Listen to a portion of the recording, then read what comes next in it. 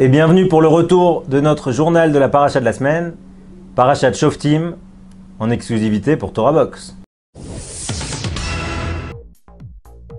Le témoignage de Jérôme Cahuzac. Le ministre des attentats de l'État islamique est mort. Effondrement d'un centre commercial à Tel Aviv. L'ancien ministre du Budget a été entendu cette semaine dans le cadre euh, de son affaire de fraude fiscale. On rappelle que au début du quinquennat, Jérôme Cahuzac, nouveau ministre du Budget, pourfendeur de la fraude fiscale, a été épinglé avec un compte en Suisse et un compte à Singapour. Une tâche d'huile pour le ministre du Budget censé réduire les euh, déficits du pays. Alors évidemment, il a été remercié avec... Euh, on l'a affublé du nom de Pinocchio, puisque en fait à chaque fois qu'il disait quelque chose, eh ben, la presse, enfin, on arrivait à démontrer que ce qu'il avait annoncé était faux. Et là, coup de théâtre cette semaine, puisqu'il a été entendu par les juges après 4 ans de procédure. malheureusement, c'est souvent le, cas en France de procès, enfin, d'une justice extrêmement lente. Et euh, il a annoncé devant tout le monde que l'ouverture en 92, 1992 de son compte en Suisse était un cadeau, était une, une, aide à Michel Rocard, qui était alors ministre, pour l'aider dans sa vie politique. Donc en fait, la force du bonhomme, Michel Rocard est décédé il y a deux mois. Alors que historiquement, Michel Rocard a beaucoup œuvré à la transparence de la vie politique et euh, la possibilité d'auditer les comptes des hommes politiques, etc. Alors peut-être que c'était pour mieux se couvrir, mais en tout cas, il y a deux mois, Michel Rocard décède, et là, après trois ans d'interrogation, trois ans où le nom de Michel Rocard n'est jamais apparu, et eh bien, Jérôme Cahuzac, pour honorer le défunt, explique que le compte en Suisse qui lui a valu sa carrière politique était un compte pour Michel Rocard.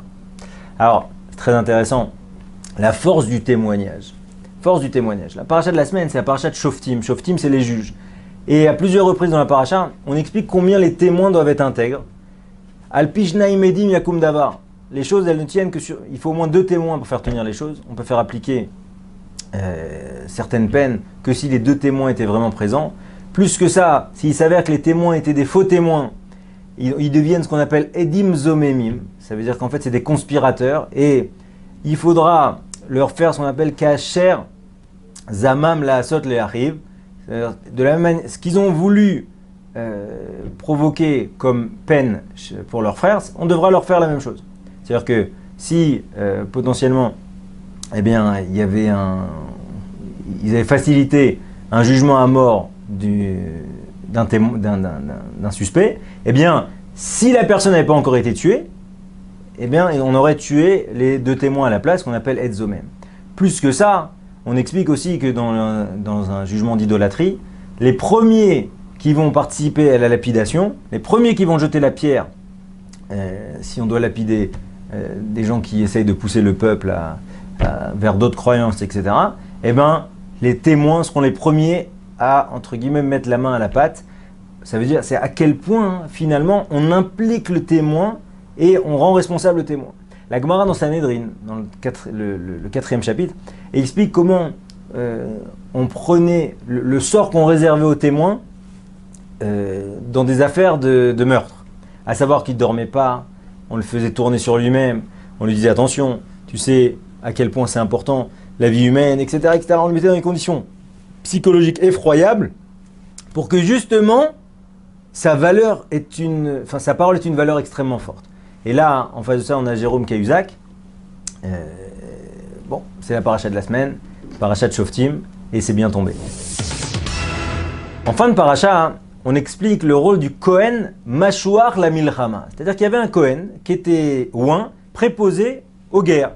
C'est-à-dire quoi? Qu'il encourageait les troupes et plus principalement, il faisait le tri entre les soldats.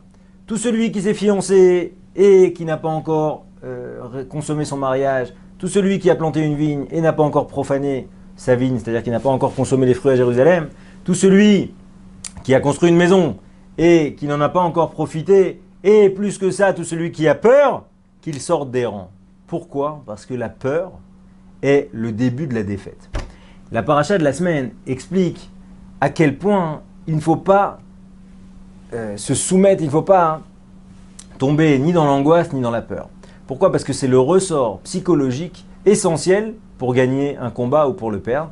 Et c'était typiquement la mission de Mohamed Haddani, Mohamed Adnani, qui est décédé cette semaine, pour lequel on ne fera pas Kaddish. Il était le ministre des attentats de l'État islamique. Donc il était ministre des attentats, ou pour certains ministre de l'information. Et c'était celui qu'on voyait partout dire euh, Vous, mes frères, euh, occupez-vous euh, de ces impies, faites des attentats en France, faites des attentats où que vous soyez, il n'y a plus besoin de venir en Syrie. Et derrière, la, communication de masse pour véhiculer la peur. c'est très intéressant à quel point la Torah est, attachée à cette notion de peur. Et la notion de peur est extrêmement liée à la notion de foi. C'est-à-dire que si je pense que réellement Akadosh Baruch a un programme pour moi, fondamentalement, je ne devrais pas avoir peur. Tout le rôle de l'État islamique dans un monde euh, niaisé, c'est-à-dire dans un monde aujourd'hui qui est un monde qui n'a pas connu de guerre ou, réellement de conflits euh, sérieux depuis 50 euh, ans, eh bien, la, force de l'État islamique, qui, lui a permis principalement de recruter les fous en masse du monde entier, c'était justement de jouer sur les peurs, de montrer l'horreur, de jouer l'horreur.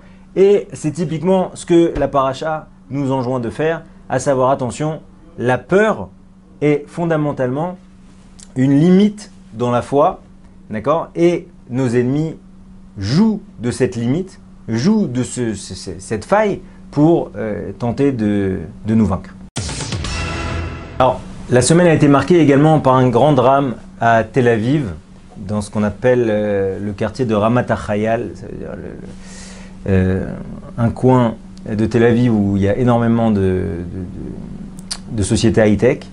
Et en fait, ce qui s'est passé, c'est qu'il y a eu un parking sur quatre étages sur lequel une grue est tombée.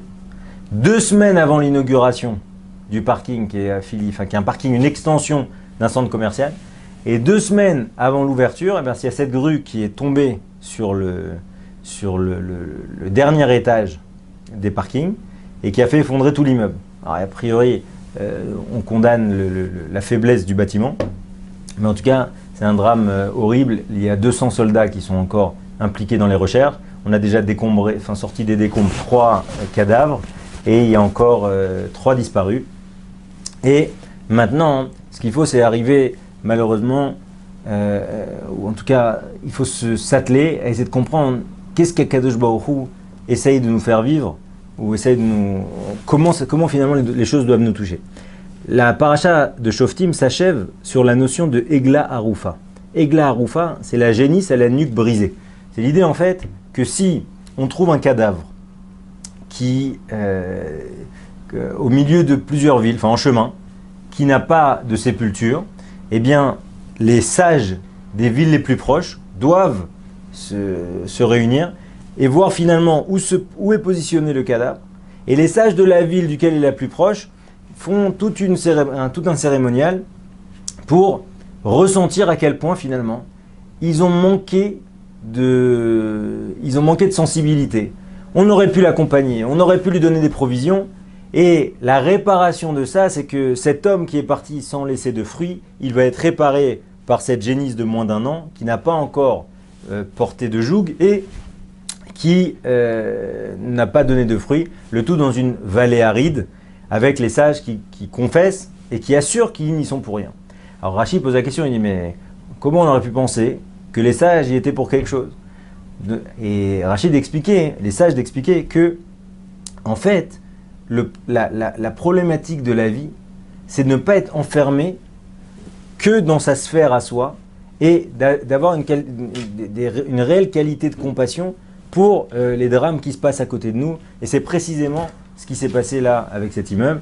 Alors, euh, inutile de dire que euh, c'est un grand miracle, puisque si la grue s'était effondrée il y a deux semaines plus tard, pour ceux qui connaissent un peu les, euh, ce côté-là de Tel Aviv ou les canyons en général en Israël et la difficulté à trouver une place, j'imaginais qu'on peut imaginer le désastre que ça aurait été. Donc, euh, mais fondamentalement, ce drame et tous les drames qui nous touchent de près ou de loin doivent nous amener à réfléchir à est-ce qu'on n'aurait pas pu améliorer quelque chose? Est-ce que fondamentalement, dans la relation avec cette personne, si on l'avait connue, est-ce qu'on aurait été indifférent à elle ou pas? Et c'est ça toute euh, l'idée du cérémonial de cet égla Aroufa.